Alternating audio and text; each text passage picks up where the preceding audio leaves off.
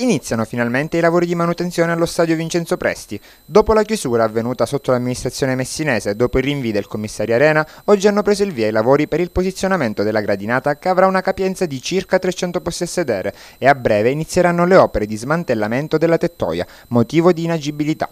Gli interventi previsti prima della riapertura riguarderanno varie aree dell'impianto sportivo. Eh, ci sono in programma diversi interventi come già abbiamo specificato in tante altre occasioni. Iniziamo oggi con il montaggio della gradinata. All'epoca, eh, qualche tempo fa, eh, commissionato questo, eh, questa fornitura che viene eseguita oggi, sarà montata nel giro di pochi giorni per cui inizieremo dalla gradinata. Stiamo già per pubblicare l'avviso per quanto riguarda la decostruzione della tettoia che è stato uno dei motivi più rilevanti che hanno determinato l'inagibilità dello stadio. Abbiamo avuto già un'interlocuzione col genio civile e, e, i vigili del fuoco provinciali e che sono quelli che pretende in qualche modo dovranno poi alla fine esprimere in sede di commissione il parere per l'agibilità del, dello Stato. Abbiamo anche concordato eh, le procedure e i lavori da eseguire, per cui nell'ordine. Iniziamo oggi con la gradinata, stiamo rispettando i tempi eh, che avevamo già stabilito e di questo sono contento anche perché nel lavorare può succedere sempre un qualche inconveniente e invece siamo qui oggi a, a, a realizzare questo montaggio. Eh, dopodiché a breve, eh, da qui a, mm, a, giorni, faremo in modo diciamo, di affidare e iniziare anche i lavori di decostruzione della tettoia.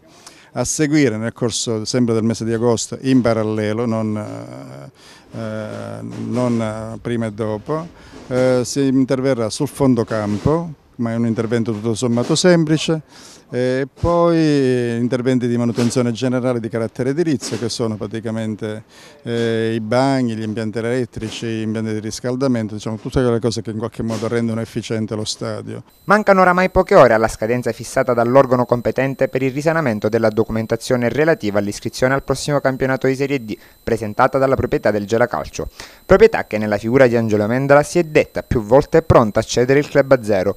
Dopo una riunione in cui si erano palesati alcuni imprenditori pronti a sostenere la causa Gela Calcio, la situazione adesso sembra in stallo e si aspettano novità anche da parte dell'attuale dirigenza.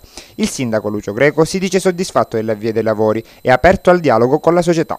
Quella di oggi è una risposta a un mondo che è quello dello sport, agli amanti del calcio, per confermare che quello che abbiamo detto in questi mesi, e cioè dire che noi stavamo lavorando per rendere fruibile e utilizzabile il Vincenzo Presti alla, alla città, ai ai, agli amanti del calcio, ad inizio campionato la struttura sportiva lo stiamo dimostrando con i fatti, questa è la conferma. Oggi come state vedendo stanno iniziando i lavori, abbiamo lavorato alacremente noi ma devo dire anche gli uffici, i dirigenti, assieme abbiamo fatto un lavoro e siamo riusciti a dare un risultato che è quello che state vedendo e cioè un fatto concreto di poter iniziare i lavori e far sì che a inizio campionato la struttura sarà fruibile e utilizzabile, speriamo, dal Gela Calcio nella categoria che merita